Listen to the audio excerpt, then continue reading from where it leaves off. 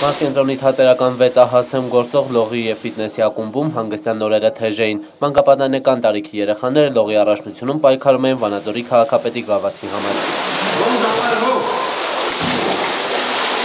Ամենամեա դարձած այս մրցաշարը լող մարզաձևում անցեկացում արդեն երկրորդ անգամ ներգրավելով համայնքի և տարածաշրջանի մարզիկներին։ Մասնակցում էին ավելի քան 5 տասնյակ երեխաներ։ Սկսնակ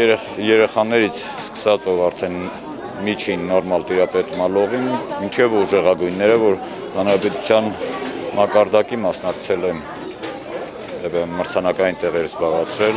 Մեծ լողավազանի վերանորոգման աշխատանքներով պայմանավորված մրցաշարն անցկացվեց այստեղ, չնայած փոքր-ինչ անհարմարությունների, ըստ պատասխանատուների անցկացվեց բարձր մակարդակով։ Անցկացվեց այս փոքր լողավազանում, քանի որ մեծ լողավազանը նախաձեռնության քաղաքապետի եւ նոր տնօրենի Կանան Խաչատրյանի սկսել են վերանորոգումը, հուսով եմ, որ մյուս տարի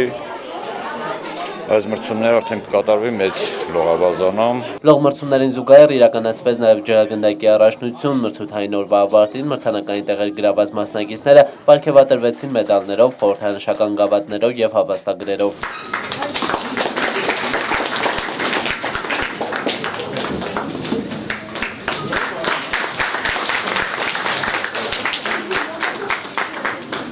Ըստ մարզիչների այս առաջնությունը ինչ-որ տեղ նաև ստուգատես էր հանրապետական մրցաշարից առաջ մոտորերես լողորդները իրենց ուժերը կփորձեն նաև հանրապետական մրցումներին։ Պաչամատինյան Մհեր Թադևոսյան, Մոլորակ։